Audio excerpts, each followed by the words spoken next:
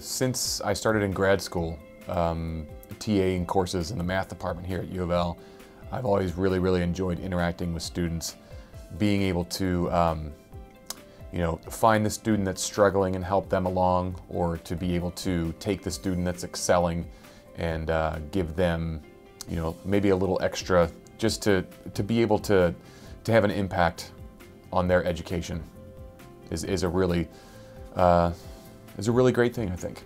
Having a math teacher that really just went beyond the extra step to make sure everybody understood. And for me, it was um, kind of a review for everything, but for some people, you know, this is the first math class they've taken in 20 years or, you know, they haven't taken advanced math before. And he was really just willing to go that extra step to make sure every the entire class was on page. Dr. Lorenz has many excellent personal attributes that distinguishes him from other professors.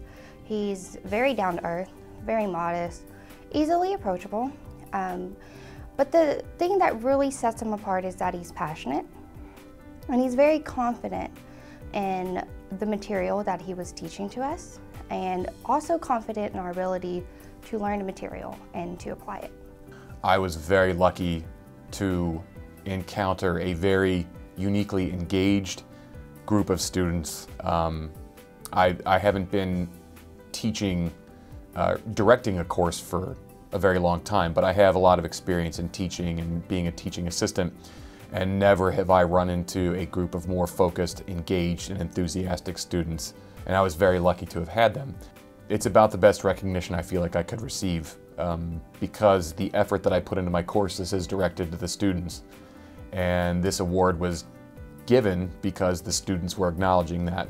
So it's, it's, it's sort of a direct validation of what I feel my maximum effort was put towards.